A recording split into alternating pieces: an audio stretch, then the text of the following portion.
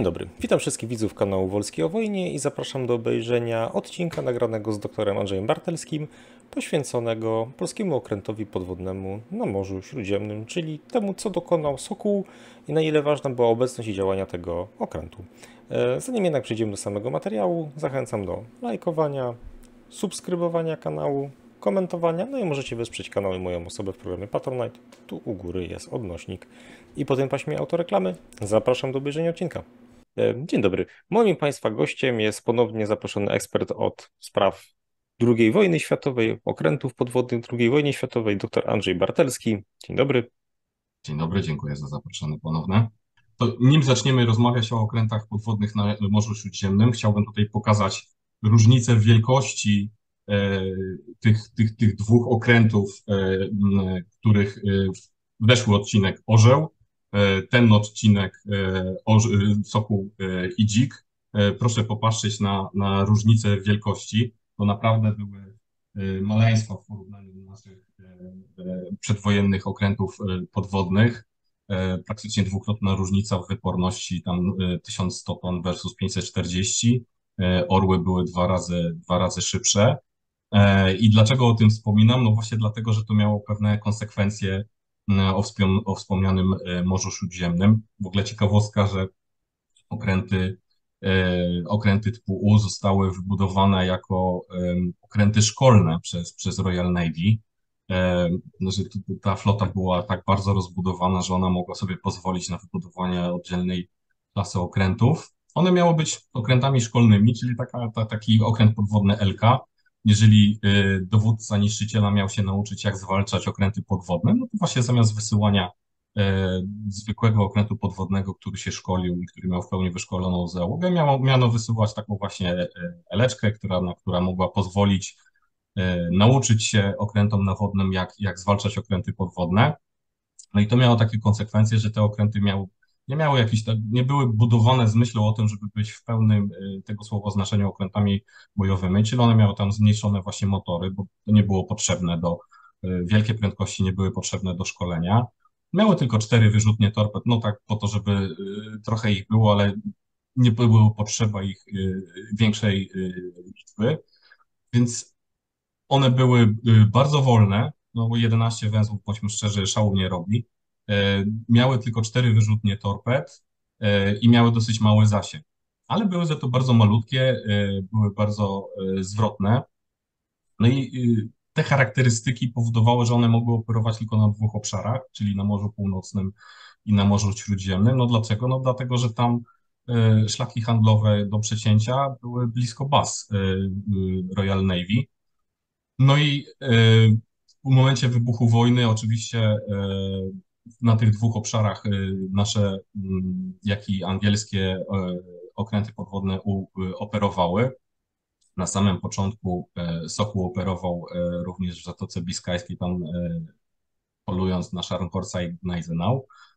A następnie, ponieważ generał Rommel robił znaczące postępy w Afryce Północnej, zaczęto rozbudowywać dziesiątą flotylę okrętów podwodnych na Malcie. No dobra, ale jak to się stało, żeby polska marynarka wojenna otrzymała te szkolne okręty brytyjskie? Znaczy one oczywiście w momencie wybuchu wojny przestały być szkolne i, i, i normalnie zostały skierowane na pierwszą linię frontu. Natomiast e, no, nie chciałbym wchodzić w jakieś e, szczegóły, natomiast, e, bo to jest dosyć długa i zawiła historia, jak Ale to poczekaj, to, to, te okręty. To, to, to przypomnijmy widzom, bo mieliśmy pięć okrętów podwodnych przed wojną, tak? Tak jest. Trzy zostały internowane w Szwecji. Do mhm. Wielkiej Brytanii przedał się e, wilk i orzeł. Tak. Orzeł niestety, jak wiadomo, e, zaginął i do dzisiaj dnia nie jesteśmy w stanie stwierdzić, gdzie i kiedy. No, pozostał tylko wilk. Mhm. I tutaj sytuacja była o tyle skomplikowana, że dowódca wilka, komandor Krawczyk, no tutaj on miał takie specyficzne podejście. To znaczy, cała załoga, która była dosyć młoda, w, oni rwali się do walki i chcieli jak najszybciej e, wyjść w morze, natomiast no nie ma co ukrywać, okręt był sterany e, francuskiej budowy, więc e, troszeczkę się rozpadał, tak to brzydko rzecz ujmę. I co, co, co chwila musiał iść do tej stoczni, No więc siłą rzeczy załoga, mimo że kochała swój okręt, no, no chciała walczyć, tak? I chciała Mhm. zmienić, zmienić okręt, natomiast Krawczyk na to się nie zgadzał. I, I w momencie, kiedy y, załoga złożyła petycję, żeby, żeby obsadzić nowy okręt podwodny, albo nawet dwa, bo bo Wilk mógł obsadzić dwa mniejsze okręty podwodne, no to Krawczyk zablokował tą, tą y, ideę. I tutaj y, kapitan Karnicki po prostu złamał, y, złamał rozkaz i, i prywatnymi kanałami dotarł do, do admirała brytyjskiego i złożył po prostu do niego e, raport z, z prośbą o obsadzenie jednego z mniejszych typów e, e, okrętów podwodnych budowanych w stoczniach brytyjskich. No i w ten sposób pa- padło na U, tak? No bo to był mały okręt, Okej. który wymagał mało załogi, więc tak jakby zdjęcie części załogi z, z Wilka nie powodowało, że okręt musiał być odstawiony, tak? Więc, więc to, ten właśnie, żeby Wilk syty i owca cała, stąd też e, Sokół ma na herbie e, e, owce, e, powodowało, że wydzielenie części załogi Wilka na, na Sokoła można było e, utrzymać w linii oba okręty. No i w ten sposób powstał, powstał ten nasz Sokół. I on właśnie z byłej, z części załogi Wilka został w całości obsadzony. Tam doszlusowano kilku, kilku specjalistów i podoficerów z przeszłością y, w y, siłach podwodnych, które obecnie byli y, na, na, na niszczycielach albo na lądzie. No i on, on, on operował pod, pod dowództwem brytyjskim. I tam w ogóle jest bardzo ciekawa komunikacja e, e, brytyjskich, w admiralicji brytyjskiej, bo oni uznali, że, że okręty typu U trzeba przenieść właśnie na, na Morze Śródziemne. No i się tak zastanawiali, jak to zrobić. Czy, e, czy po prostu postawić Świrskiego przed faktem dokonanym i powiedzieć, no e, wysyłamy twój okręt na Morze Śródziemne, czy należy go e, spytać e, i, i wtedy się no, tak jakby tracą, e, tracą tą władzę operacyjną nad, nad tym okrętem, no ale ostatecznie prywatnymi kanałami otrzymali po- potwierdzenie, że, że e, admirał Świrski e, wyrazi absolutnie zgodę. No więc kurtuazyjnie został wysłany e, e, list. e, e, Zostało potwierdzone ze strony polskiej, że my wyrażamy zgodę na udział e, Sokoła w kampanii śródziemnomorskiej i wtedy też właśnie we wrześniu Sokół wyruszył na Morze Śródziemne We wrześniu którego roku? 41. 41 dokładnie. I wtedy właśnie też organizowano dziesiątą flotylę na Malcie i y, tam na Malcie właśnie zaczęły bazować te okręty podwodne i jak y, ktokolwiek popatrzy na mapę Morza Śródziemnego, no to widać, że Malta leży dokładnie po środku drogi pomiędzy Włochami a Afryką Północną. No i nie jest to absolutnie żadnym przypadkiem, że, że y, no to był środek walki, tak, po- pomiędzy, pomiędzy siłami włoskimi i, i, i, i okrętami brytyjskimi podwodnymi. No i tutaj właśnie zaczyna się cała, cała ciekawa historia, którą y, chciałbym opowiedzieć. Czyli Sokół trafił w 41, pod koniec 41 roku na Morze Śródziemne, w czasie inaczej, w drugiej połowie 41 roku na Morze Śródziemne. E, Trwały w tym czasie, no, można powiedzieć, walki o Maltę, w sensie, że Malta była próba, z tego, z tego co pamiętam, to już było po e, odwołaniu decyzji o mm, zajęciu Malty, tylko już była wtedy próba neutralizacji lotniczej, tak? Z tego Znaczy, próba kojarzę. neutralizacji lotniczej to, to bardziej początek 42 roku, e, ale faktycznie tak tam, e, bo to, to jedne to Włosi, a, a, drugie to Niemcy, tak, No bo, bo naloty te dwa nowe na, na Maltę to głównie Luftwaffe, natomiast faktycznie zajęcie Malty to tak jak e, mówiłeś Włosi. Natomiast to jest dokładnie ten moment, czyli, czyli październik, początek listopada 41 roku. E, e, Sokół przybywa, e, przybywa na, na, na Morze Śródziemne, no i rozpoczyna, rozpoczyna e, patrolę. No i pierwsz, pierwszą, pierwszą taką okazją do, mm, do sprawdzenia swoich umiejętności doszło 28 października, kiedy Sokół koło wyspy Ischia wykrył konwój pięciu statków oraz dwóch niszczycieli. Jeden ze statków był statkiem pasażerskim, był zdecydowanie większy od pozostałych, w związku z tym postanowiono zaatakować ten statek pasażerski. Sokół wystrzelił cztery torpedy i tutaj y, zaczyna się mm, no, ciekawie, tak? Bo y, po pierwsze y, Czy miały zapalniki magnetyczne czy kontaktowe? Kontaktowe, bo to jest M, MK, MK8, czyli ten starszy typ.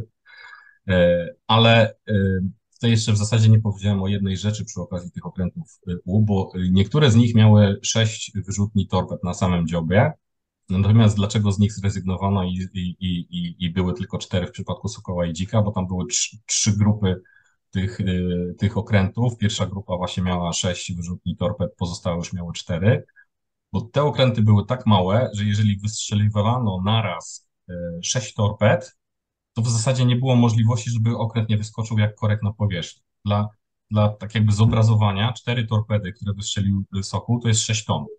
Czyli mhm. 6 ton w jednym momencie y, opuszcza wyrzutnie i no, siłą rzeczy dziób robi się strasznie, strasznie lekki, on leci po prostu do góry jak korek. Więc to jest bardzo trudne, bo trzeba zgrać moment z wystrzelenia z, z dobraniem odpowiedniej ilości wody. Y, to w ogóle jest mega skomplikowane. Y, I w tym przypadku jeszcze dochodzi stres, wszystko trzeba zgrać, no i niestety za pierwszym razem załodze się to nie udało, czyli Sokół po prostu po wystrzeleniu tych czterech torped wyskoczył na powierzchnię, zostawał tam przez 30 sekund, ale to wystarczyło, bo eskorta oczywiście zauważyła, że jest, coś tam się dzieje, jakaś woda się e, pieni i za chwilę pokazał się okręt podwodny, który się skrył, no to wiadomo było o co chodzi, więc cały konwój wykonał, wykonał zwrot. E, i, i, i, teraz, I teraz robi się naprawdę śmiesznie, a nie tylko ciekawie, bo y, zgodnie z zapisem w dzienniku działań bojowych Sokoła napisane zostało, że torpedy hit były, no bo oni widzieli, że, że konwój wykonał zwrot i nie słyszeli żadnego wybuchu. Natomiast już post factum, jak oni już odeszli od, od miejsca ataku, to otrzymali depeszę od dowódcy 10 flotyli, czyli kapitana George'a Simpsona. Well done, czyli gratulujemy dobrze wykonanego ataku. I tak trochę nie do, nie do końca wiedzieli o co chodzi, ale jak to i dlaczego. E, no i co się okazało? Oczywiście e, Anglicy mieli e, ultra, czyli ultra to było przechwytywanie na wiadomości i letli dokładnie. I oni znali szyfr, szyfr włoski, więc oni tak jakby też w ogóle to jest troszeczkę mało znana historia, ale Włosi przez większość wojny niestety dla nich, a na szczęście dla nas byli czytani przez Brytyjczyków, więc wszystkie mhm. klęski Włochów na, na morzu, to, to nie są przypadki. Tak? No, tak prostu e, przeciwnik czytał, czytał ich karty i, i, i, i to było dla nich bardzo trudne.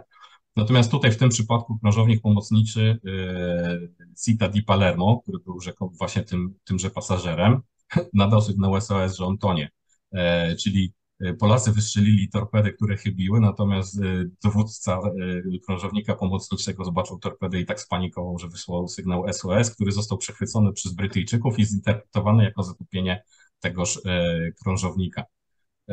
I w ten sposób uznano, że, że atak Sokoła był, był udany. No i, i gratulacje, depesze, wszystko tam właśnie zostało po powrocie do, do portu odbębnione. Troszeczkę taka komedia omyłek i gang Olsena, ale taka jest wojna, tak? No to jest właśnie ten, ten szum informacyjny i czasami, czasami się udaje, czasami się nie udaje. E, no, to też pierwsze kody za płoty. E, wyszło, Ale finalnie nie trafiono tego krążownika pomocniczego. Nie, nie trafiono. Oczywiście on, on, on, e, to, że kapitan spanikował, to, to, to, to, to nic. Natomiast tak jakby pierwsza reakcja Polaków, że torpedy chybiły, była prawidłowa, tak? No tylko im było z kolei wstyd, no bo jak to jest pierwszy atak, a my pudłujemy, to też trzeba pamiętać, Polacy dołączyli do największej floty e, świata, no i weszliśmy na salon, tak? Oni, oni mhm. byli bardzo czuli na punkcie swojego, takiego swojego postępowania, chcieli bardzo dobrze się pokazać, że my też potrafimy, y, że to nie jest tak, że tylko Brytyjczycy potrafią y, i byli bardzo wrażliwi na tym punkcie. Y, wojna wykazała, że bardzo dobrze żeśmy potrafili i że naprawdę 20 lat zbudowaliśmy coś z niczego, bo przez 20 lat zbudowaliśmy flotę, która była zdolna walczyć i to e, Brytyjczycy bardzo jasno podkreślali i, i w każdym raporcie to widać. E, to nie jest tak, że byliśmy najlepsi w klasie, ale e, na litość boską, no, byliśmy średniakami, byliśmy równymi partnerami dla Royal Navy. To jest naprawdę wielkie osiągnięcie. Mhm i, i, i myślę, że możemy być z tego bardzo dumni. A, ale wtedy nasi, nasi podwodnicy tego nie wiedzieli, no i zawsze starali się e, pokazać, że, że oni też dają radę. A że dawali radę, to wykazali już 2, 2 listopada, kiedy napotkano nocą włoski parowiec Balila. On wiózł ładunek fosfatu z Tunisu do Palermo i on został zatopiony 34 pociskami z działa pokładowego. To, to działo pokładowe to w ogóle funta akłaku było warte, więc dlatego trzeba było wpakować aż 34 pociski, żeby one cokolwiek z tym jednym parowcem zrobiły. Załoga pokładowa 25 marynarzy od razu zeszła do łodzi pokładowej i dotarła do, do Trapani, więc nikomu nic się nie stało. Natomiast e, pierwszy sukces był taki e, absolutnie, to on czasami jest przypisywany e, Utmostowi, to nie jest prawda.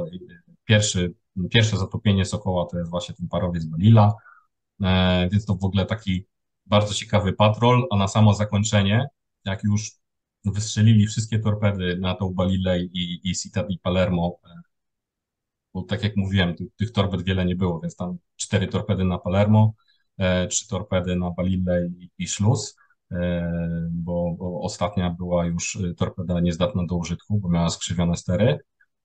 No więc zauważyli na powierzchni nieprzycielski okręt podwodny. Myśmy o tym nie wiedzieli, ale to był włoski Santore Santa Rossa który zresztą też zauważył Sokoła i też zaczął się szykować do ataku, więc dwa okręty podwójne się zauważyły. Jeden zaczął się szykować do ataku, a drugi nie miał czym atakować, bo torpedy, tak jak mówiłem, wystrzelone, jedna, jedna e, zepsuta, 34 e, pociski wystrzelone, zostało tylko 5 pocisków do działa, no i nie było czym atakować, więc, więc e, załamując ręce nasi się zanurzyli i oddalili, a taki oficer łącznikowy, bardzo zresztą słynny Geoffrey Place, który później dostał e, Victoria Cross za akcję z uszkodzeniem Tirpica. On był właśnie u nas wcześniej oficerem łącznikowym i w swoich wspomnieniach pisał, że gdyby na okręcie był choć bochen chleba, to Polacy by nim rzucali, ale i tego nam brakowało, bo wszystko już żeśmy zjedli.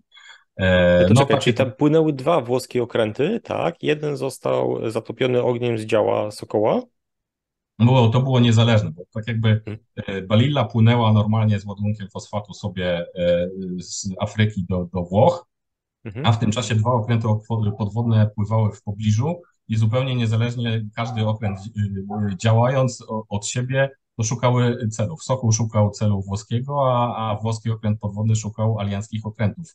Podwodnych. Ale nasi strzelali torpedy do tego... Tylko do parowca do parowca. A już do, do włoskiego okrętu podwodnego nie mieli czym strzelać, bo już wszystko było wystrzelane, co się dało. A te Więc torpedy był jakiś efekt strzelania? Eee, trafili w, w okręt włoski, czy, czy tak? Znaczy, parowiec Balila został zatopiony, natomiast okręty podwodne do siebie nie wystrzeliły niczego, ponieważ orzeł się szybko zadłużył. Ale rozumiem, że po prostu parowiec został zatopiony ogniem działa, a nie torpedami. Tak. Okej. Okay. Eee, a jaki był kaliber działa na Sokole? To było ilu 76 milionów. Okej. Okay. Czyli takie y, maleństwo jeszcze y, pierwszowojenne, więc to było dosyć mało efektywne. Teraz chciałbym też y, opowiedzieć o, o kolejnej przygodzie Sokoła, która myślę, że jest dosyć znana i ma swój wyraz na fladze pirackiej, czyli Jolly Roger Sokoła w postaci takiej kraty. E, bo pod koniec odcinka to troszeczkę o tym jeszcze więcej opowiemy. Ale była to przygoda e, w porcie Navarino, włoska nazwa greckiego portu Pylos, to jest e, na Peloponezie. I zgodnie z informacją, którą otrzymała admiralica od wywiadu, konwój włoski w składzie dwóch parowców wyszedł z Brindisi. On się oczywiście kierował do, do Afryki. I najpierw 17 listopada ten konwój był atakowany przez HMS Upright czterema torpedami, wszystkie były niecelne. Potem następnie tego samego dnia HMS Urch wystrzelił trzy torpedy, również były niecelne. No i w końcu RAF y, rzucił bombowce na, na, na tenże konwój. No i one tam zostały trochę uszkodzone, y, lekko od, y, od. No i konwój wszedł 18 listopada do Navarino, żeby usunąć te, te niewielkie uszkodzenia. No i wtedy admiralicja powiedziała, dobra, panie, panie Sokół, płynie pan pod, y, pod Navarino, tam jest konwój, który potrzebujemy zniszczyć. E, oni weszli do, e, do portu. Nie spodziewamy się tam żadnych, e, żadnych bonów, ani sieci, ani min, więc jak najbardziej możesz pan wchodzić do, do portu i próbować te okręty zniszczyć albo w porcie, albo czekając aż one wyjdą z portu i, i, i wtedy spróbować je zaatakować. Taki, takie informacje otrzymał Sokół. Niestety albo stety były one nieprawdziwe, to znaczy w, w Navarino była, była sieć przeciw okrętom podwodnym, którą Sokół się wpakował. Teraz może wytłumaczę, co to jest sieć przeciw okrętom podwodnym. To jak mamy takie y, kółka olimpijskie, które tak nakładają się na siebie jeżeli zrobi się te kółka takie bardzo duże, które mają średnicę y, mniej więcej metra albo, albo i więcej, y, no to wtedy powstaje taka sieć stalowa, bo ona oczywiście to bardzo, bardzo grube stalowe pręty są. I po co się robi takie sieci? No właśnie po to, że, żeby żeby okręty podwodne nie weszły niezauważone do portu, tak? Czyli mamy na, na górze, na górze są takie beczki, które trzymają tą, tą, tą sieć i ono się spuszcza do, do dna i wtedy nic nie może fizycznie przepłynąć pod wodą, tak? No bo mhm. jest po prostu zagroda. A bony to jest taki szlaban na wodzie, który służy do nieprzepuszczania okrętów na wodę, tak? E, w Navarino było, zarówno były sieci, jak i bony, e, o czym wywiad e, brytyjski nie wiedział. Siłą rzeczy Sokół również tego nie wiedział, no i wpakował się na pełnej prędkości, próbując wejść do, mm, do portu w Navarino. Tutaj gdzieś po lewej albo prawej stronie będzie mapka, którą narysowałem, jak to wygląda. I, i, i, i, i Sokół próbując, próbując wejść do portu, żeby zaatakować te, te statki konwoju, po prostu się wpakował najzwyczajniej w, świecie, w sieć przeciw okrętom podwodnym, co jest bardzo niebezpieczne, no bo tak jakby te sieci oczywiście mają takie małe bombki zamieszczone na, na górze, że jak ona zaczyna, sieć się zaczyna ruszać, to one wybuchają, no i wtedy wszyscy wiedzą, o, złapała się muszka w sieci i można iść ją zjeść. E, I, e, no i oczywiście e, natychmiast dwa, dwa niszczyciele ruszyły polując na sokoła.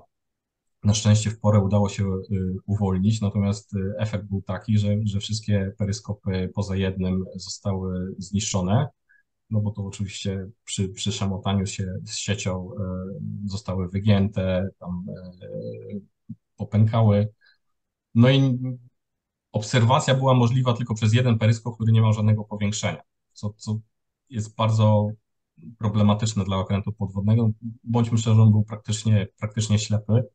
E, natomiast pan kapitan Karnicki stwierdził, że, że nic to, dostał rozkaz, no to będzie jak najbardziej E, go starał się wykonać. No i tutaj taka e, anegdota, że jest, że twierdzi się, że Sokół e, zaatakował ten konwój, wystrzelił torpedy przez dziurę, w którą, którą spowodował. Oczywiście jest to niemożliwe fizycznie, ale, ale dykteryjka jest piękna, natomiast faktycznie wiedząc już, gdzie jest sieć, po prostu zdołał, zdołał ją obejść i, i wystrzelić torpedy tak jakby nad siecią. E, no i wystrzelił trzy torpedy do widocznego w przejściu y, kontorpedowca, bo, bo statków handlowych nie widać. One były schowane za tą e, wysepką z fakteria, która jest po lewej stronie mapy.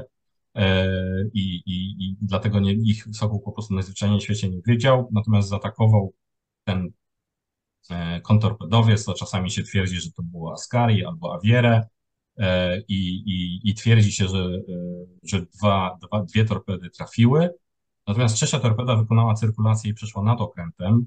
E, I proszę mi uwierzyć, to jest bardzo niebezpieczne. Dwa okręty amerykańskie USS Tank i USS Tullibee po prostu zatonęły od, od własnych mhm. torped. Cyrkulacja torpedy polega na tym, że my strzelamy torpedę i ona wykonuje skręt o 180 stopni i, i wraca tam, skąd została wystrzelona. Na, na nasze szczęście E, e, Sokół zdołał to wychwycić e, poprzez nasłuch i, i, i zdążył się zanurzyć, tak? I, i, i wtedy torpeda przeszła nad nim, do, dokładnie nad nim i marynarze to słyszeli, więc to dosyć, dosyć było niebezpieczne.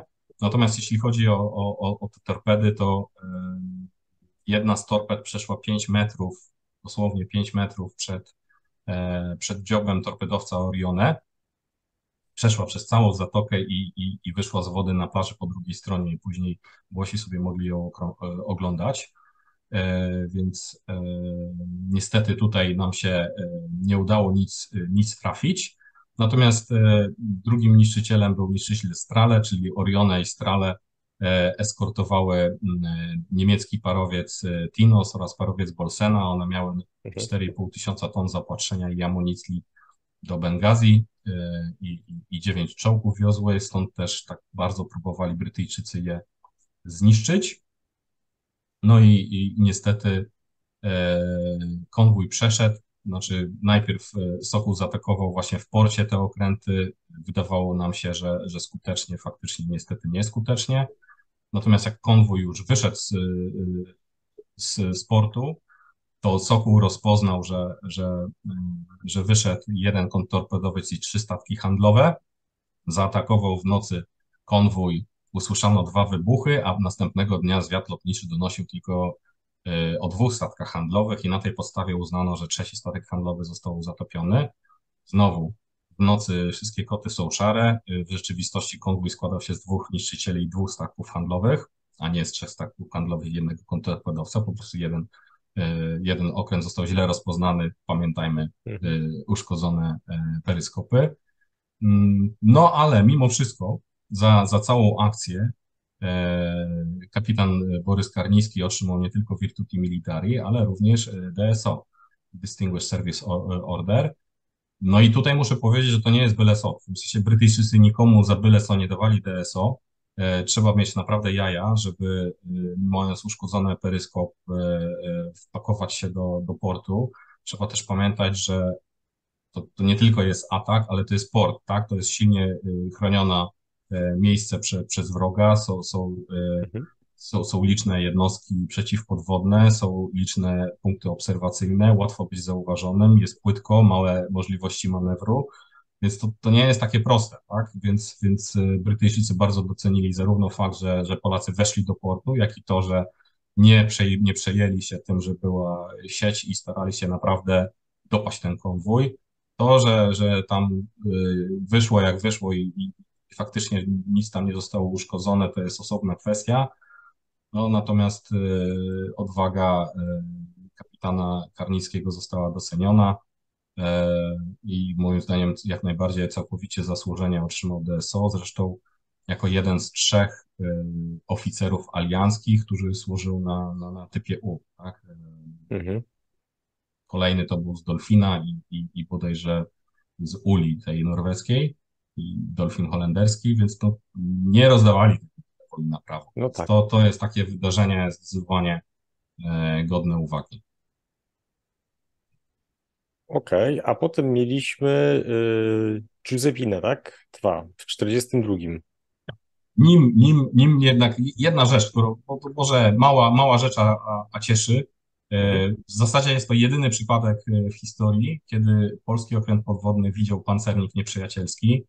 19 grudnia 1941 mhm. roku e, zespół włoski, który wracał z pierwszej bitwy pod Syrtą i u wyjścia Zatoki Tarenckiej Sokół zauważył właśnie Littorio, Andrea Dorie, Giulio Cesare e, w eskorcie dwóch krążowników Trento Gorcia i, i 10 niszczycieli. Jedyny przypadek w historii, kiedy Sokół albo jakikolwiek w ogóle polski okręt podwodny widział e, pancernik w okularę peryskopu, Niestety y, zespół włoski był w odległości 7 e, mil morskich, prędkość ponad 20 węzłów, przypomnę, Sokół Max 11 węzłów na powierzchni, 10 pod wodą, nijak. O ile by nie weszli mu pod e, wyrzutnie torped, to, to, to nie miał jak ich dogonić. Niestety e, nie wykonali zwrotu, przeszli obok i, i, i tyle ich widzieli. Natomiast to fajnie wiedzieć, że, że kiedyś E, żeśmy widzieli. To są największe jednostki, które, które próbowaliśmy podejść. Natomiast teraz tak, wracamy oczywiście do, do Giuseppiny. To jest atak koło Dżerby, taka latarnia Rastagerne. Tutaj znowu gdzieś jest moje, moje zdjęcie z tejże latarni. Ono oczywiście jest współczesne, kiedy tam odwiedziłem tę wyspę. Napotkano, napotkano szkuner, E, wystrzelono trzy, e, trzy pociski, żeby zatrzymać tą jednostkę. W tym czasie załoga pośpiesznie opuściła szkuner na e, opuściła szkuner i poda, łodzią i odpłynęła. No i tutaj nie, nie odmówię sobie tej przyjemności i tutaj podam cytat z nieopublikowanego dziennika kapitana Jerzego Koziołkowskiego, który był zastępcą dowódcy i tak napisał, co znaleźli, co znaleźli na pokładzie. Znaleźliśmy mapy pól minowych, tajny rozkaz podróży, hełm pozostawiony przez załogę, żywą kotkę, którą żeśmy ochrzcili Muso, fotografię Mussoliniego i pocztówkę z dwoma arabkami z cyckami na wierzchu. Dwie ostatnie powieszono w mesie na honorowym miejscu. E, no to pokazuje bardzo dobrze e, tak jakby humor e, i nastroje, jakie panują na okręcie podwodnym. Natomiast już mówiąc całkiem poważnie, najważniejszą zdobyczą nie było wcale zatopienie tego, tej Giuseppiny, tylko zdobycie mapy Pulmin. Dzięki mm. temu przez jakiś czas przynajmniej alianci wiedzieli, gdzie można pływać, a gdzie nie można pływać, bo znali, znali gdzie Włosi po, postawili y, pola minowe, więc czasami y, od zatopienia dużo ważniejsze są właśnie zdobywanie mhm. takich, y, takich informacji. I w ogóle ten tajny rozkaz podróży był bardzo ciekawy, bo on zabraniał zagłodze, czyli Włochom, informowania Francuzów, którzy, no Tunezja to w tym czasie była francuska, podania portu docelowego i ładunku, tak? Czyli nie wolno było sojusznikom powiedzieć, co ta Giuseppina wiozła i, i, i gdzie to wiozła. I to, a wiozła 120 ton węgla z Trypolisu do Tunisu i najśmieszniejsze, jak ta e, załoga dotarła łodzią do, do Maret, czyli do właśnie e, miejscowości e, francuskiej, to wszystko od razu podali.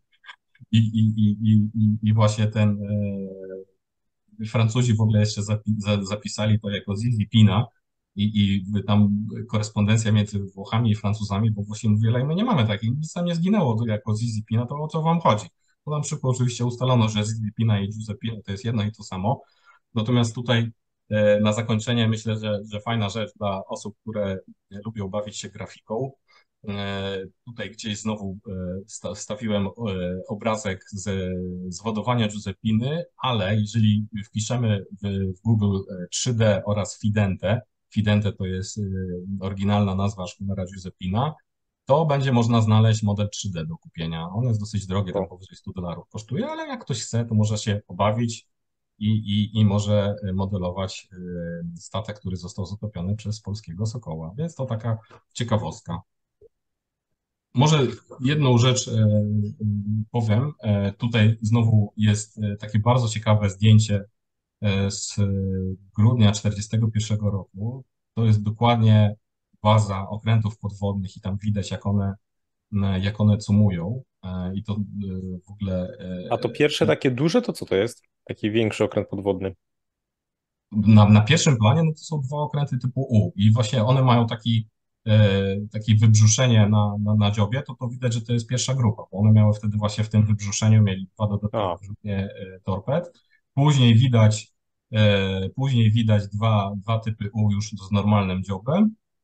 No i dalej albo, albo Eski, albo U, wydaje mi się, że to są U, ale głowy nie dam, ale właśnie tutaj to po prawej stronie, do czego one cumują, to jest w ogóle to jest cała wyspa Manoel, w Marszamszet w Malcie e, I, i, i ten specyficzny budynek to jest Lazaretto, taka jest nazwa e, tegoż budynku. On został wybudowany jako szpital dla trędowatych. Później w trakcie I wojny światowej e, służył jako, jako, jako szpital po prostu dla, dla wojska, a następnie został zmieniony w przychodnie dla panien podejrzanej kondyduity zwane również upadłymi dziewczętami, a następnie został przekazany podwodniakom, jak e, e, znowu z przekąsem e, pisali nasi podwodnicy, doborowe towarzystwo, najpierw trędowaci, później pardon my French, a teraz podwodnicy. I teraz jeśli chodzi o, o naloty na, na, na Maltę, myślę, że to można tylko w bardzo dużym skrócie powiedzieć, że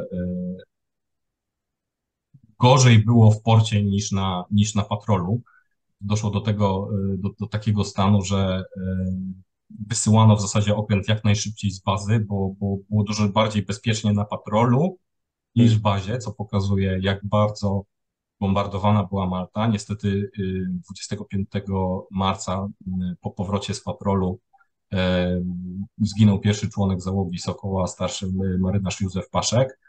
No i niestety kotka Muso straciła swoje dziewięć żyć, schowała się dokładnie podczas tego samego nalotu pod stół bilardowy. Stół bilardowy nie wytrzymał, kotek również nie wytrzymał. No ale takie, takie jest niestety wojna. Następnego dnia Sokół przeszedł z, z Lazaretto do, do, do, do stoczni e, i znowu gdzieś tutaj e, albo po lewej, albo po prawej stronie pojawi się taka mapa Dockyard Creek. E, mhm. To jest właśnie stocznia, w której stały uszkodzone okręty podwodne, a ponieważ Sokół doznał już uszkodzeń poprzedniego dnia, no to właśnie stał tam razem mhm. P39 i tak jakby jak popatrzymy teraz na tą mapę, ona jest oczywiście odwrócona, czyli północ jest po lewej stronie. Z góry mapy, czyli ze wschodu leciał e, niemiecki bombowiec i zrzucił serię bomb na Machinery Wharf i Store Wharf. Przy Machinery Wharf stał Sokół, przy Store Wharf stał P-39. Ta wiązka bomb, e, tam były trzy, trzy bomby poleciały.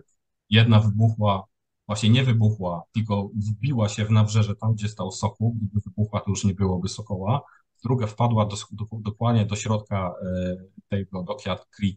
Jak weszła pod, pod P39 i jak wybuchła, to po prostu złamała kręgosłup tego okrętu podwodnego. A trzecia, trzecia wybuchła e, na, na nabrzeżu Storworth i, i, i zdziesiątkowała tam stojących marynarzy. To tylko pokazuje, że wojna to jest często przyparek. Wystarczyło, żeby Sokół stanął po drugiej stronie doku, albo żeby bomba wybuchła, już nie mielibyśmy Sokoła i na, jego historia zakończyłaby się 26 marca.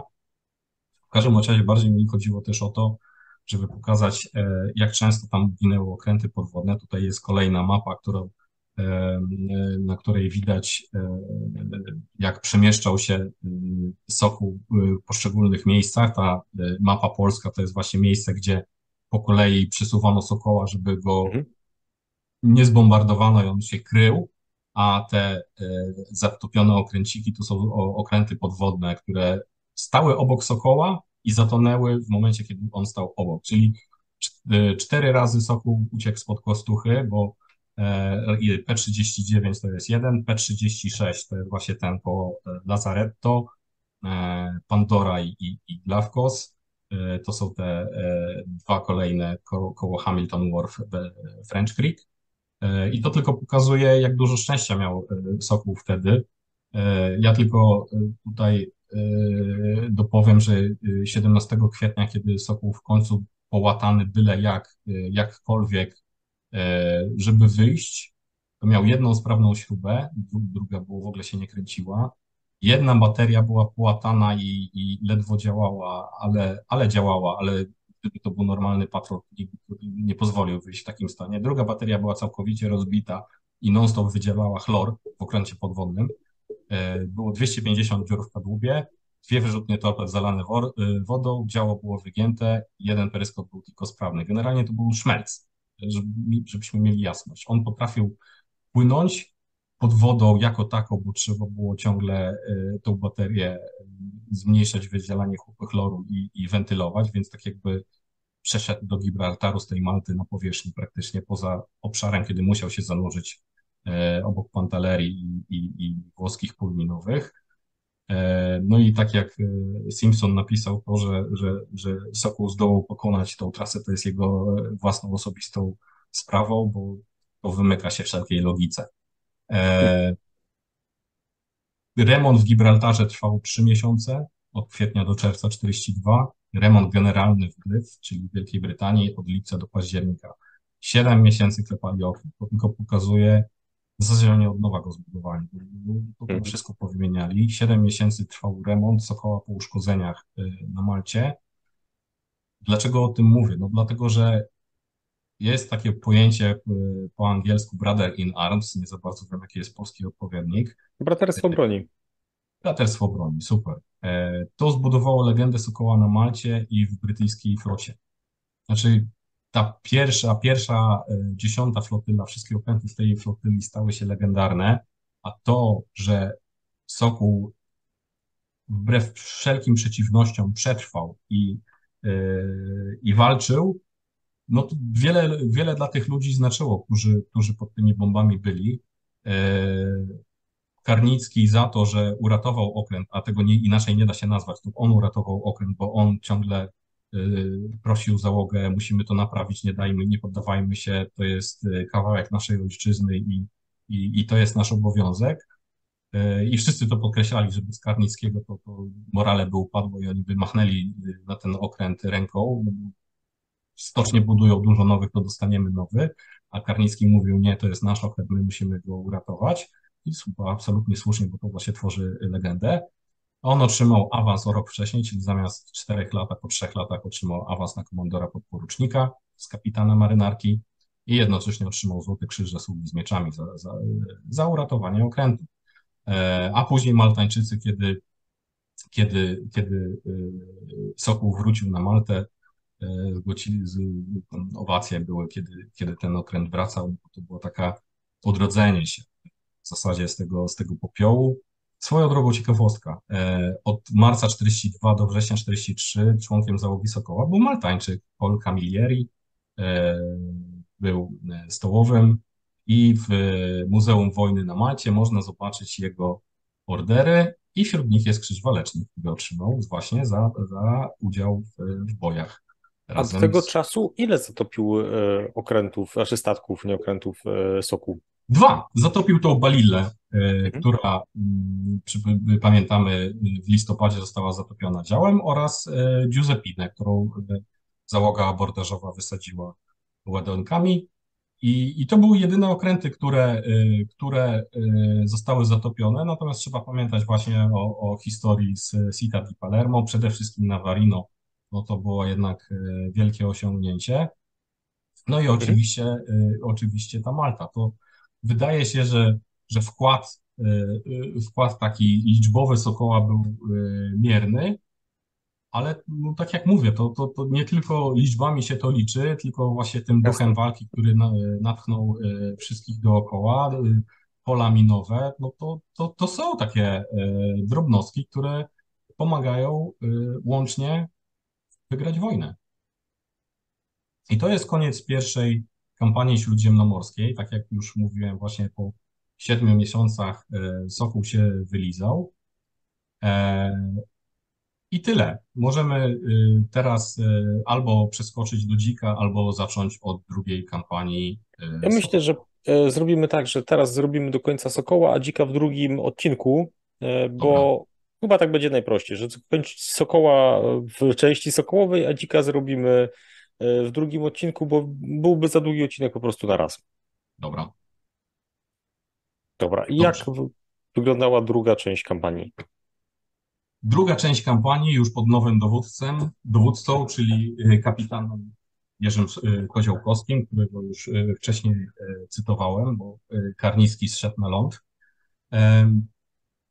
I tak jakby pierwszym sukcesem nowego Sokoła był, nadszedł e, w październiku dopiero 43 roku, czyli on od maja do października pływał na patrole i nic nie był w stanie ustrzelić. Proszę sobie wyobrazić, jakie to frustrację rodziło e, wśród załogi i również wśród e, dowódcy. Tak? No, to nie jest takie proste. Dostałem okręt, którego zadaniem jest topić jednostki nieprzyjacielskie, a tutaj kicha, nic, nic mi się nie udaje. To jest, to jest bardzo trudne pod, pod kątem psychicznym. Tak? To nie tylko trzeba dbać o swoją załogę i, i morale tej załogi, ale to jest dla, dla mhm. personalnie też jest bardzo trudne i nie ma co dziwić, że, że jak w końcu się udało, to, to była wielka ulga dla załogi i, i dla dowódcy. Oni już nawet zaczęli e, szeptać między sobą, że Sokół jest przeklęty. No ale w każdym bądź razie w październiku Sokół został wysłany na Adriatyk, co samo w sobie było bardzo intrygujące. To był taki eksperyment. Jak się popatrzy na mapę z, z, z Malty na, na Adriatyk, e, na północny Adriatyk, tam obok Puli, e, kawał drogi. E, mhm. A jak pamiętamy, mówiłem, że, że okręty pół wcale nie były jakieś super dostosowane do tego, żeby pływać na dalekie odległości, ale oni chcieli sprawdzić, no oni, czyli dowództwo 10 flotili chciało sprawdzić, czy jest sens wysyłania okrętów na tak dalekie mhm. patrole. Podsumowanie było takie, że nie do końca, bo jednak e, za dużo się zużywa paliwa na dojście i, odejście. Mm, natomiast no, ten patrol e, Sokół tam e, wykonał i 7 października zatopił włoski statek Eridania o wyporności ponad 7000 BRT i jest to największy sukces polskiej marynarki wojennej pod kątem tonażu. Albowiem Sperbresier 7, czyli zatopiony mm, łamacz blokady zatopiony przez Pioruna. E, miał tylko 7087, Eridania 7094, Rio de Janeiro to tylko 5261, a Carnaro, o którym będę e, za chwilę mówił w przypadku e, Dzika w kolejnym odcinku, to on został zniszczony, ale nie zatopiony, więc tak jakby największy okręt, który poszedł na dno pod kątem zatopiony przez PMW, to jest właśnie rzeczona Eridania, 7 października 43, 7094 BRT, E, jak ktoś e, poszuka, to jeszcze e, jest w stanie znaleźć scuba diving, który oferuje nurkowanie na wrak Eridani. Jest, resztki tego statku są no, dosyć płytko leżą i można je tam nurkować. Jak ktoś z naszych y, widzów e, jest nurkiem, może się tam wybierze, zrobi piękne zdjęcia. W internecie można znaleźć e, szkic nawet tego e, wraku. No więc to jest taka ciekawostka. Czyli Eridania jest w sumie największym okrętem, statkiem zatopionym przez polską marynarkę wojenną jak do tej pory w ogóle, prawda? Gdybyśmy mieli liczyć w trakcie działań. W całej historii w sumie polskiej marynarki wojennej. Czy mogę teraz zaproponować konkurs? No oczywiście. Dobra. Oczywiście jak najbardziej. Prawda, w tym konkursie do wygrania będzie raczej nic, ale ten, ale, ale myślę, że konkurs o nic jest naszą ulubioną formą konkursu, e, więc e, co, jak, jaki jest konkurs? Dobra. E, pomysł na konkurs jest taki, żeby proszę podać wielkie jednostki Wojska Polskiego, które jednego dnia spowodowało nieprzyjaciela następujące straty około 180 e, żołnierzy, 10 dział, około 70 pojazdów i 300 ton zaopatrzenia. Dlaczego e, taka specyficzna liczba? No bo to jest e, straty, które jedna z jednostek polskiej marynarki wojennej w ciągu jednego dnia spowodowała u nieprzyjaciela. I chodzi mi o to, żeby, żeby widzowie sobie zobrazowali albo unaocznili, jak trudno jest znaleźć ekwiwalentną stratę, która została zadana przez jednostkę albo lotniczą, albo, albo e, wojska lądowego. A tutaj właśnie jeden okręt podwodny e, spowodował takie, takie straty w przeciągu jednego dnia. Przypominam, 180 żołnierzy, 10 dział, 70 pojazdów, 300 ton zaopatrzenia. No jestem bardzo ciekawy, e, ile, ile wielkich jednostek Wojska Polskiego uda się znaleźć w ciągu jednego dnia. Takie straty Pewnie tak. bitwa pod Bzurą to, to, to, nawet większe były to e, straty, ale chodzi o jeden dzień, a nie, nie, nie, nie jakiś e, dłuższy okres. No nie i proszę. Się sięgać na górze, ale to jest bardzo ciekawe, co powiedziałeś o, o stratach, które zadało coś gdzieś komuś, żeby nie psuć konkursu. Mm, u góry nie chce mi się sięgać, mam ciche zwycięstwo Klerblera, czyli o chyba takie najbardziej znana pomiszcze poświęcone wojnie podwodnej na Pacyfiku. I tam bardzo fajne są opisy, y, jak potworne straty Japończykom zadały amerykańskie okręty podwodne, kiedy Japończycy próbowali wzmacniać garnizony swoje, zwłaszcza przed Filipinami, mm, zwłaszcza przed Guam, przed Saipan. I tam są opisy, że na przykład przerzucano całą dywizję z Mandżurii,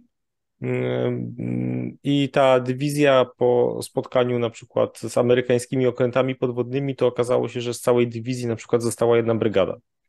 Albo mhm. okazuje się, że na przykład 3000 ludzi z tej dywizji zginęło na morzu, zginęło podczas próby transportu drogą morską, po prostu zostali zatopieni przez okręty podwodne. Bardzo jest, w ogóle w Claire jest szereg bardzo ciekawych, musiałbym w ogóle skonfrontować może z doktorem Pinksikiem, E, bo mm, tam jest bardzo ciekawych e, fragmentów, które może umykają, ale pokazują e, po pierwsze, jak Japonia była zduszona blokadą morską, głównie przez okręty podwodne. Mm, I potem bardzo ciekawe są fragmenty pokazujące właśnie o zadawaniu strat. Co prawda, tam, tu też spoiler, ale dla widzów Amerykanie mieli potworne problemy z torpedami, E, ponieważ tam okazało się, że torpedy płynęły głębiej niż miały płynąć, miały wadliwe zapalniki magnetyczne, po czym się jeszcze okazało, że zapalnik uderzeniowy też był wadliwy, bo iglica była za szybko miażdżona, zanim zdołała zbić spłonkę i zainicjować ładunek i Amerykanie z tym się uporali dopiero w połowie 1943 roku. Dopiero w połowie 1943 roku te torpedy zaczęły być w miarę niezawodne amerykańskie. To się okazuje, że mało widzowie może o tym nie będą wiedzieli, a Amerykanie w 1944 roku wprowadzili taktykę wilczych stad, które zwłaszcza zaczęły grasować w cieśninie luzońskiej.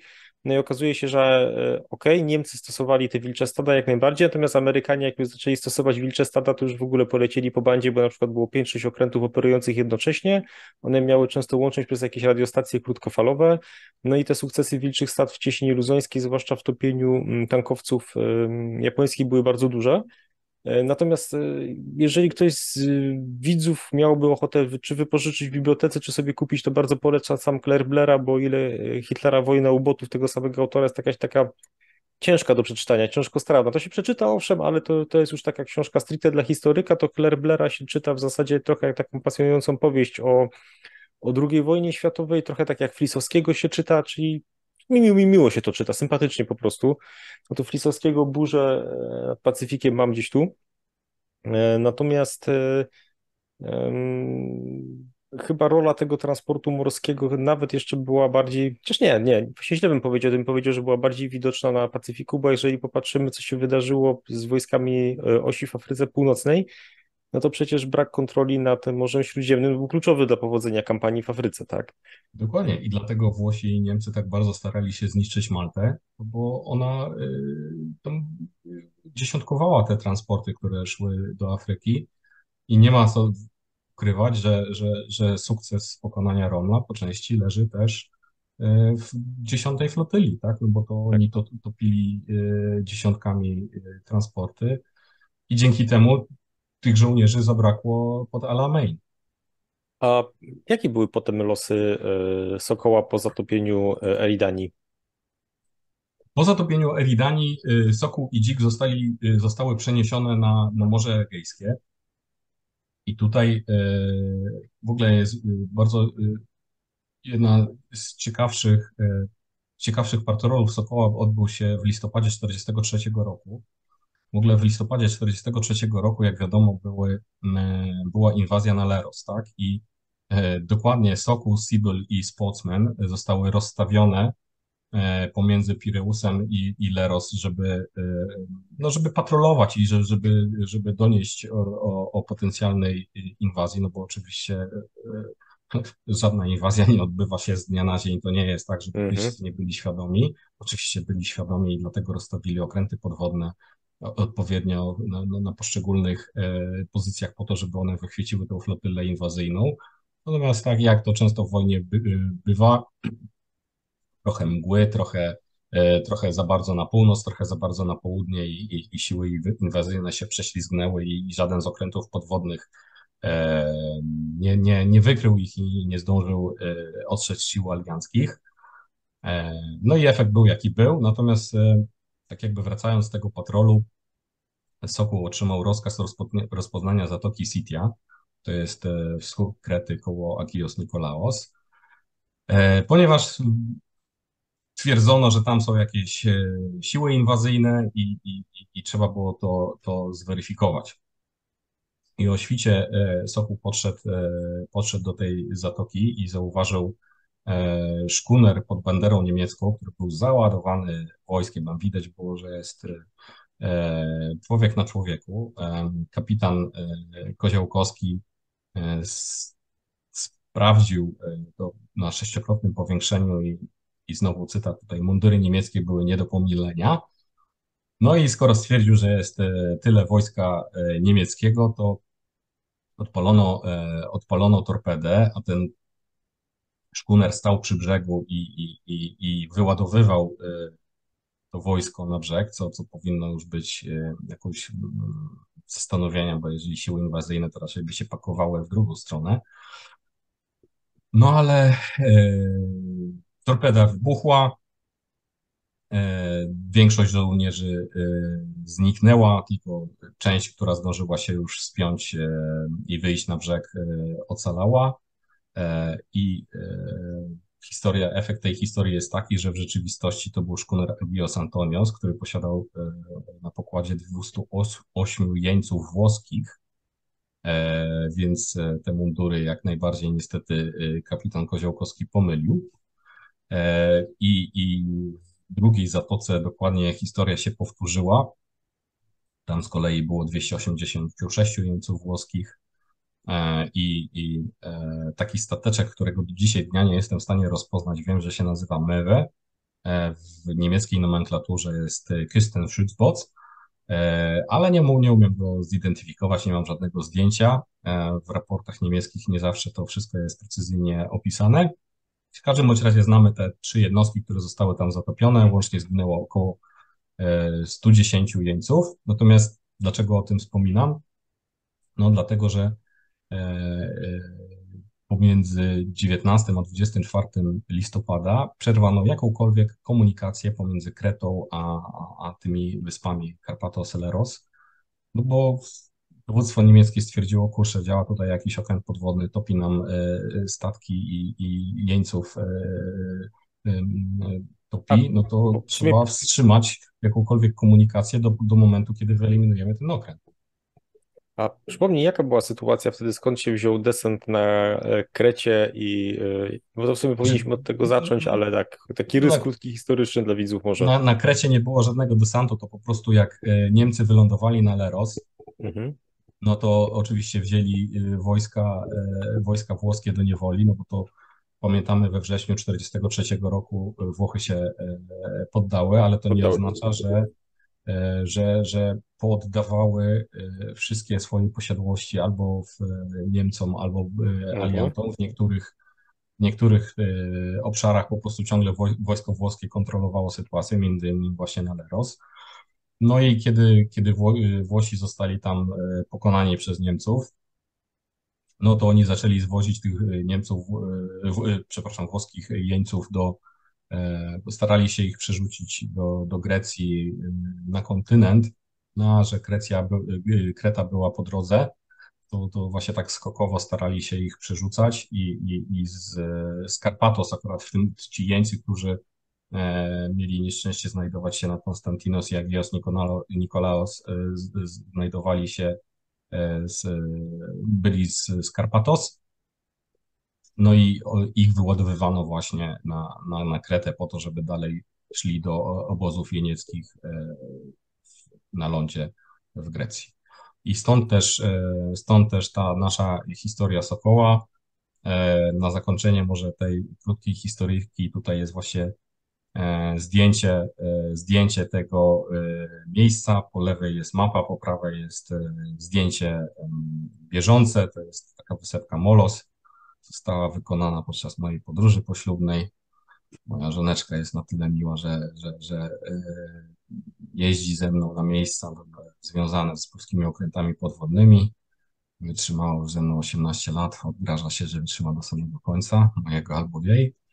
E, buziaszki i możemy iść dalej. Ostatnie, e, ostatni punkt Sokoła. Grudzień 43 rok, w zasadzie największa zagadka, której nie umiem do dzisiaj dnia e, rozwikłać. Mhm. Więc jeżeli jest tu jakiś e, detektyw, który chętnie podejmie się wyzwania, to serdecznie zapraszam. E, w nocy 11-12 grudnia 1943 roku Sokół był na patrolu pomiędzy Lemnos a dzisiaj tureckim, turecką Bazakadą, a wtedy to się nazywała wyspa Tenedos. No i zauważono, e, był oczywiście e, noc, mhm. e, deszcz padający, widoczność praktycznie żadna.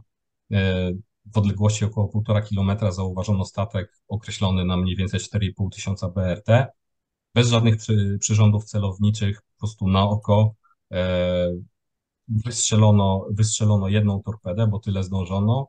W tym samym momencie usłyszano nadlatujący samolot, wobec tego zanurzono się. Po minucie usłyszano wybuch torpedy. Minuta to jest mniej więcej ten czas, która by potrzebowała torpeda na przejście półtora kilometra, stąd też e, uznano, że e, torpeda trafiła. Mm, po 10 minutach, kiedy przez peryskop stwierdzono, że żadnej eskorty nie ma, żadnego samolotu nie ma, wynożono się. Na miejscu ataku była wielka plama ropy e, i nic dookoła. No więc ropa, wybuch torpedy w odpowiednim czasie, trafienie. Tak, tak, taki poszedł e, raport. W kolejnym tygodniu to w ogóle było też bardzo ciekawe. Sokół przy okazji innych zatopień, znowu kolejne szkunery, które przewoziły niemieckich żołnierzy pomiędzy wysepkami greckimi i, i złapano, tych, złapano tych, tych, tych jeńców po ataku na, na konwój szkunerów i podczas przesłuchania jeńców jeden z nich powiedział, że a tak, ostatnio był taki koło, koło Mudros, czyli koło Lemnos, Mudros to, to, to, to takie miasto na Lemnos, przyszli rozbitkowie z zatopionego statku, taki wielki statek, e, który nazywał się Antipi, tak, znamy go i, i on zatonął właśnie całkiem niedawno. No i wtedy no już było wiadomo, a super, to już w ogóle nawet znamy nazwę tego zatopionego statku, wszystko się, wszystko się spina. Mm, no tylko mi się nic nie spina, dlatego że y, zatopionym statkiem to od tej ropy, plamy ropy i od tych rozbitków z Mudrów to był e, statek Sonia, który został zatopiony 9 grudnia przez HMS Surf i, i to jest potwierdzone, są raporty dotyczące zatopionego statku i, i, to się wszystko zgadza. Dokładnie w tym samym miejscu był atak Sokoła, co zatopienie Soni, stąd też wejście w plamę ropy. Natomiast zgodnie z dokumentami niemieckimi tam nic nie było.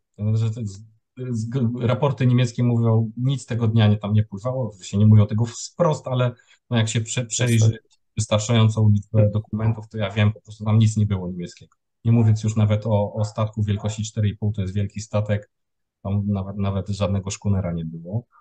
E, I mam stuprocentową pewność, że ropa i rozbudkowie, o której mówił przesłuchiwany Jeniec, pochodzili z tej Sony. No więc ciągle nie wiem, co to jest. Wiem, że to nie był statek kontrolowany przez Niemców, E, brytyjski historyk, admirał Arthur Hazlitt wspomina właśnie odnośnie tego jeńca, że to był statek Antipi mhm. albo Xantipe. E, natomiast taki statek nie istnieje w Lloyd's Registered. W żadnym źródle nie jestem w stanie y, znaleźć, więc szczerze powiedziawszy nie wiem skąd pochodzi ta informacja poza rzeczonym jeńcem, ale on mówił o Antipi 4,5, a Hazlitt mówi Antipi Xantipe 5600. Nie wiem, mm. tak szczerze powiedziawszy, tak. ciągle szukam. Możliwa jest jeszcze inna e, możliwość, że e, był to statek neutralny, na przykład turecki. Wiem też, że dwa statki szwedzkie, Bardland i Kamelia, płynęły z cieśniny Samos do Salonik, ale one trochę za bardzo były na południe i wątpię, żeby e, były w tym miejscu, kiedy atakował Sokół. No i jest jeszcze jedna możliwość, bardzo ciekawa e, dla mnie, ale na razie też nie jestem w stanie jej dokładnie zweryfikować. Tuż obok Sokoła znajdował się HMS Surf, dokładnie ten sam, który zatopił Sonię. Jak patrzy się na, na, na, na logi obu e, log, czyli dziennik nawigacyjny obu mhm. okrętów, to one były mniej więcej w odległości 8 mil morskich od siebie w tym momencie, kiedy nastąpił atak. Oba usłyszały ten sam nadlatujący samolot, dokładnie w tym samym, e, z, z tą samą godziną. No więc być może tak naprawdę Sokół zauważył surfa i atakował surfa. E, tego nie wiemy i być może nigdy się nie dowiemy, a może się dowiemy, bo ktoś coś Jasne, znajdzie. Dojdzie. Ale ciekawa historia. Ale no to, to właśnie na tym polega piękno e, tych e, poszukiwań, tak, bo mamy brakujące e, kostki e, puzli i trzeba je znaleźć i albo, no tak. albo jesteśmy w stanie dedukcją to uzupełnić, albo po prostu idziemy do archiwum i znajdujemy, znajdujemy brakujący dokument, od którego momentu jest, no kurczę, jak mogłem tego nie wiedzieć, nie? Ale po, trzeba się przekopać przez setki stron, jak nie tysiące stron, no żeby tak. później powiedzieć, no kurczę, ale to jest oczywiste.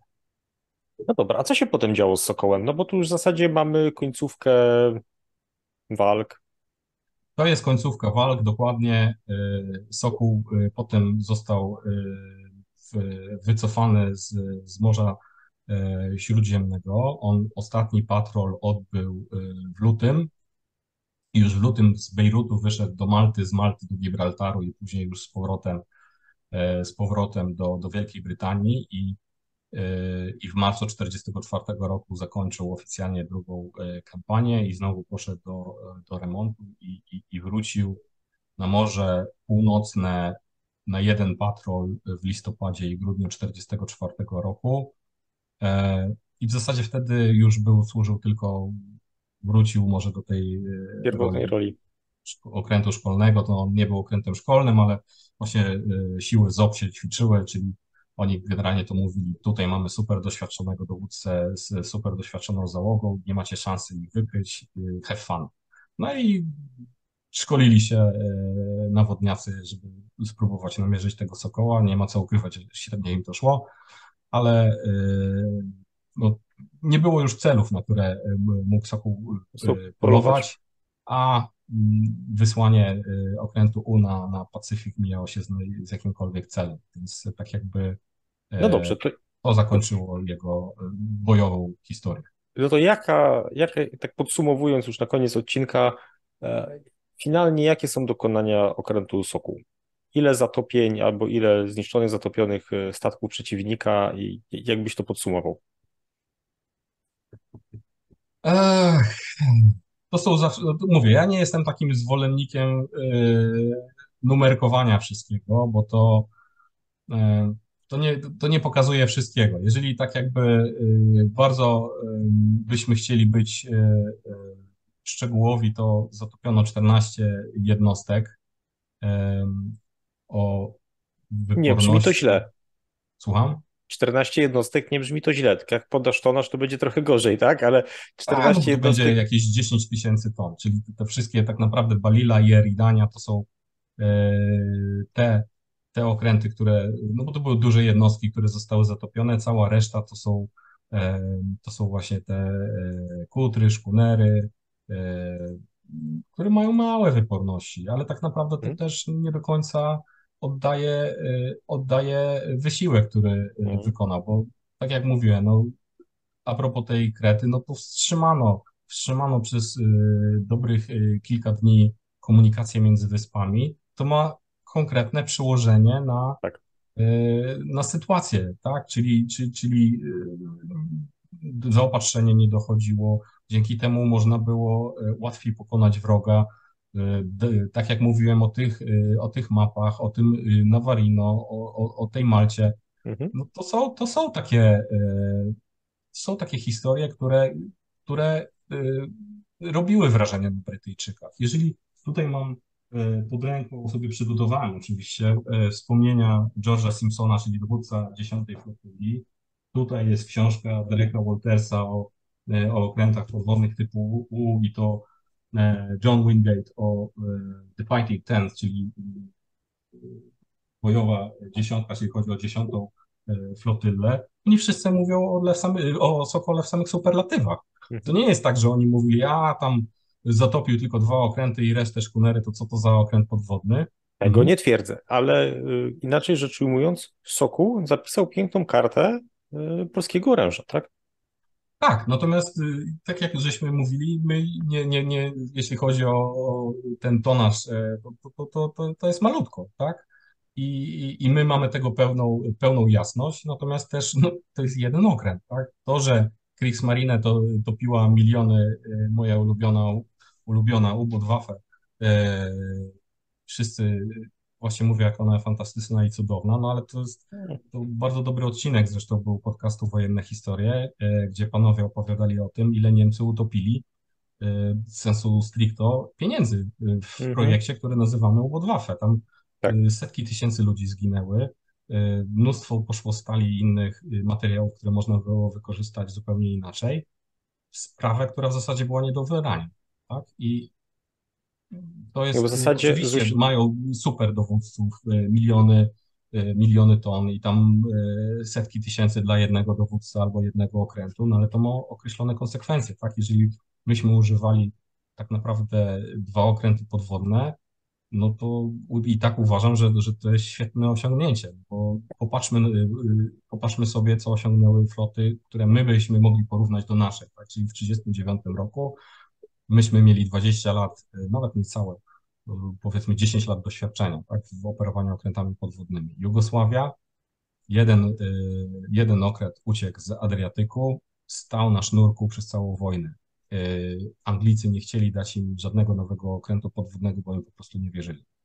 Mówili, że no, musicie się podszkolić i, i, i niebojsa była przez cały okres okrętem szkolnym, ale nic z tego nie wyszło. To tam jeszcze może być Grecy, którzy dużo, dużo większa marynarka wojenna, sukcesy na naszym poziomie. To nie jest tak, ja być może jeszcze jak, jak, jak uda mi się gdzieś znaleźć, to podeślę taką mam tabelę z kompilacją osiągnięć dziesiątej flotyli okrętów podwodnych i jak tam się popatrzy na, na tabelę od, od góry do dołu, Sokół, Sokół i Dzik są dokładnie po samym środku, tak? To nie jest tak, że my jesteśmy gdzieś, gdzieś na, na dole, e, ani nie jesteśmy na, na górze, daleko nam do, do Upholdera, czy, czy Wanklina, czy Urja Tomkinsona, ale to nie o to chodzi, tak? No, my mieliśmy dwa rodzynki i te dwa rodzynki jak najbardziej dawały radę i, i z tego trzeba być dumnym i i liczyć, a mam nadzieję, że tak jest, że, że jeśli dojdzie do, mam nadzieję, że nie, ale dojdzie do wojny bieżącej, to również e, nasze załogi wykażą się takim hartem ducha, jak załogi Sokoła i Dzika. Jasne. No i to jest chyba fajne zakończenie. Myślę, że w kolejnym odcinku opowiemy tylko o dziku. Eee... Andrzeju, dziękuję Tobie bardzo, że się pojawiłeś i dziękuję, że. E, dziękuję, było bardzo miło w ramach takiej, wiesz, pasjonującej gawędy historycznie przedstawiłeś widzom e, to, co się działo z Sokołem, bo a poleciłbyś coś z literatury naszej krajowej dla widzów jeszcze na koniec w tym temacie? Może jakiś artykuł napisałeś, albo nie no. wiem, gdzieś jest jakiś dobry artykuł, który byś polecił? Dobrą literaturę polską to jest um, oksymoron. E, E, może, może mnie zmusić do tego, żeby właśnie napisać coś o sukcesach Sokoła i Dzika, bo faktycznie materiały mam, nie mam nigdy czasu. Moje trzy małe diabły tasmańskie mi ciągle odciągają od, od rzeczy przyjemnych, ale takie, takie jest życie. E, ale może faktycznie e, to jak, jak napiszę, dam znać i, i wtedy będę mógł coś nowego, ciekawego polecić. Dobra. Andrzeju, bardzo Tobie dziękuję za rozmowę. I to by było tyle, drodzy widzowie. Dziękuję bardzo za wszystkie lajki, subskrypcje, za komentarze. Wielkie gorące podziękowania dla patronów wspierających e, kanał w programie Patronite. Trzymajcie się. Cześć.